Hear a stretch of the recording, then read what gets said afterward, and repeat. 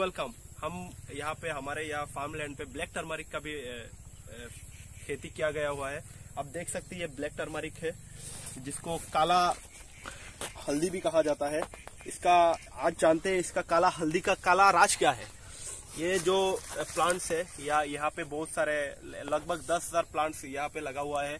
इसका बहुत सारे मेडिसिनल उपयोग है। इसका बेनिफिट्स बहुत सारे ये बहुत सारे बीमार में काम आता है। आप देख सकते हैं ये हम लोगों ने कैसे लगाया हुआ है। इसका जो ब्लैक टर्मरिक जो होता है, ये होने में सिर्फ़ नाइन मंथ लगता है। इसको लगाने के बाद नाइन मंथ में ये ब्लैक टर्मरिक यहाँ पे नीचे हो जाता है। आप लोग इसको खुद के ब्लैक टर्मरिक आप निकाल सकते हैं। और इसका मेडिसिनल बेनिफिट ये है, ये पाइल्स बीमार हो या ट्यूमर बीमार या बहुत सारे मेडिसिन में ये यूज़ प्रयोग किया जाता है। और ट्रेडिशनल जो भी हम लोगों का जो भी ट्रेडिशनल मेडिसिन होता है, इसमें भी ब्लैक टर्मरिक का प्रयोग किया जाता है।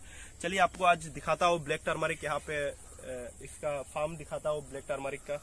और ये ज़्यादा इसका मेहनत नहीं करना पड़ता ये लगाने के बाद नौ महीना के अंदर यहाँ पे ब्लैक टर्मरिक हो जाता है। चलिए आपको दिखाता हूँ हम लोग का ब्लैक टर्मरिक का फार्म लैंड।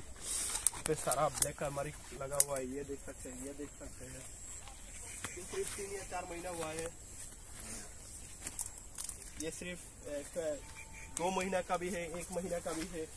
और ये वेराइटी से लगाने में कभी लेट हो गया है, कभी जल्दी लगाया गया है। और अब ये पूरा फार्म लैंड पूरा एक एकड़ ज़मीन में पूरा ब्लैक टर्मरिक ही लगा हुआ है। और इसका फार्मर जो हम लोगों के किसान भाई है, इसका बहुत लाभ उठा सकते हैं इसको लगा के। इसको लगाने में ज़्यादा खर्चा भी नहीं होता है। और इसको बहुत महँगा बाज़ार में बिकता है। एरिया एरिया वाइज डिपेंड करता है कहाँ पे कितना इसका कॉस्ट है।